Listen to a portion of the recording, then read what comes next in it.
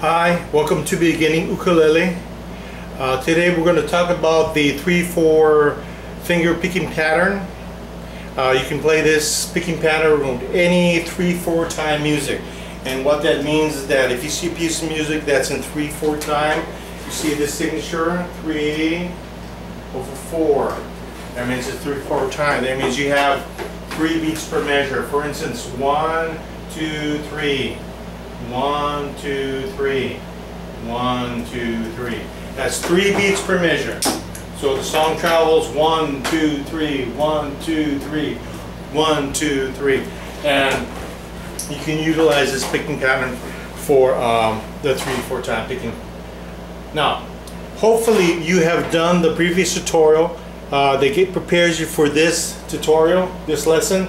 It was the four finger grab. It helped you to get the um, um, actually your fingers into into uh, the area of the ukulele strings and being able to be comfortable with them so you could naturally just pick up this picking technique. Okay, so um, if you did, this shouldn't be too hard for you to adapt to. If you did not look at that tutorial prior to this one, you want to go back, look at that tutorial, try it for at least a few times, get comfortable, then come back to this tutorial. If you if you did not do it, then it's just going to take a little bit longer uh, to learn the technique. You eventually learn it, but you won't learn it as fast. Okay, so this is a little drawing of how it's going to look. These are the four strings of the ukulele strings right here. Basically, the open strings are G, C, E, A, four strings.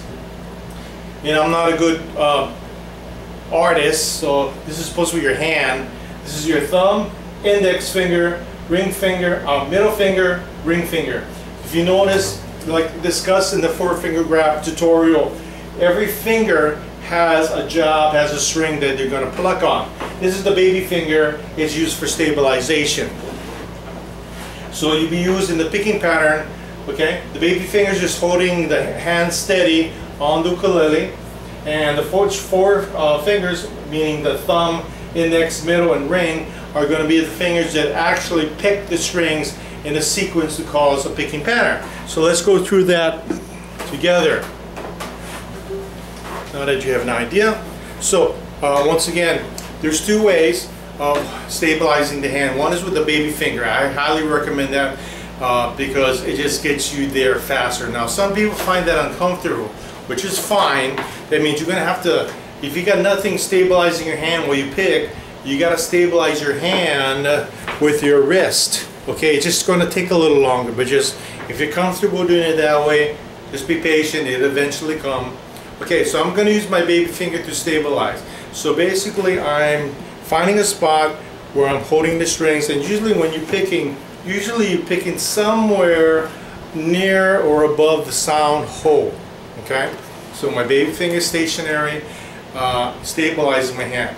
Okay, once again, the fingers are the thumb on the top, next will be the index on the, the C string, the middle on the E string, and the ring on the A string. So let's go through that together. Thumb on top, then we got the index, middle, ring. So these three right here, actually four fingers, all have a string, all have a job to do. Here we go, thumb on top, index, next, middle, second, ring on the bottom. Okay, baby finger stabilizing. So when you're picking a 3-4 time, what you're going to do is you're going to pick the two outside strings first. Okay, so you want to pick the two outside strings first. That's these two outside strings here, which is called a picking number one. And then we're going to pick this string here second, and this string here third. So the pattern goes as follows. The two outside, they they're, they're plucked together. Thumb and ring. You're going to go first. Okay? However, keep, try to keep your fingers on the strings um, for guidance. And then next will be your second string, okay, with your middle finger. And thirdly will be your index on the third string, and that's the picking pattern. Okay, so let it go. On the outsides, one, two, three. One, two, three. On the outsides, one, two, three. One, two, three. Slow it down. One, two, three. One, two, three. One, two, three. You notice that if you did your four finger grab exercise tutorial before you did this, it's a lot easier because your hand already knows what it feels like, where it goes, the positioning, the area, etc. Okay, outside turns first. One, two, three.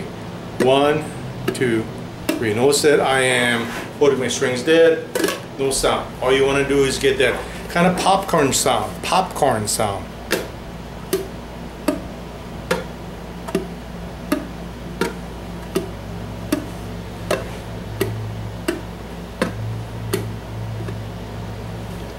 And what's interesting is that where you hold your hand here gives you a different sound.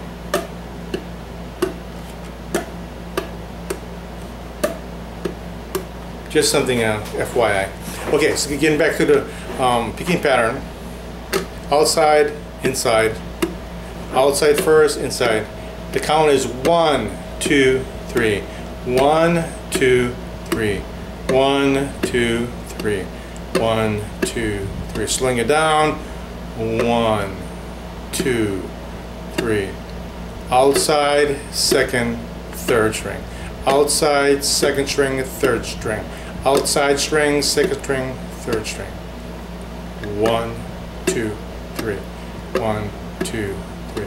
Okay, so try that. It's uh, some people catch on to it quicker than others. However, albeit, just don't give up. Keep practicing it.